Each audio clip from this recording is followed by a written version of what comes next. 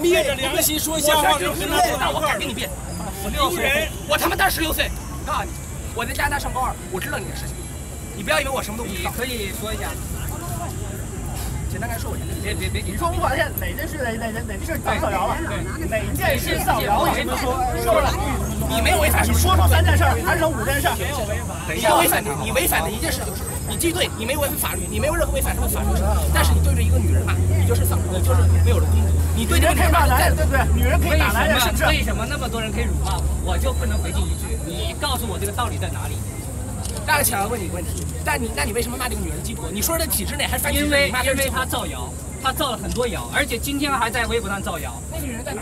你造谣美国，造谣美国法律的那个上我跟你说，他造谣哪几条？第一条，这个他造谣方舟子的这个老婆跟这个这个保姆说跟那个那个科社科院呃科学那个说别人造谣，那个科学家有有了，对不对？第一条这是。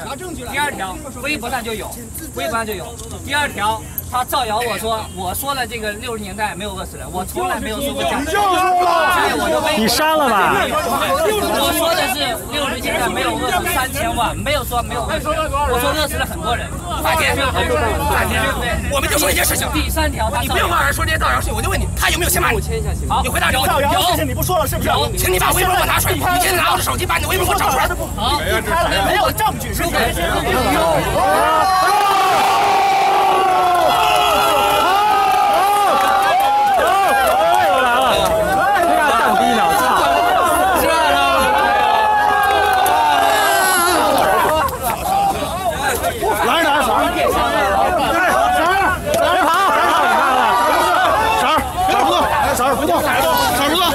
小石头，小石头，我跟你讲，小石头，哎哎，吴老师，吴老师，你给我跑，别跑，你不要辩论吗？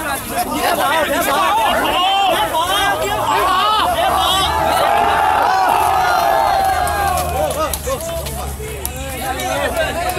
胖子，胖子，你来跟他辩论。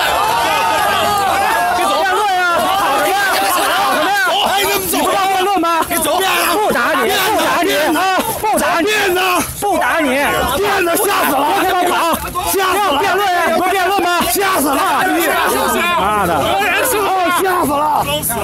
装太他妈牛逼了就跑了，演戏呢！别跑，别跑！吴当红，戏呢！好了，傻逼！吴当红，傻逼！吴当红，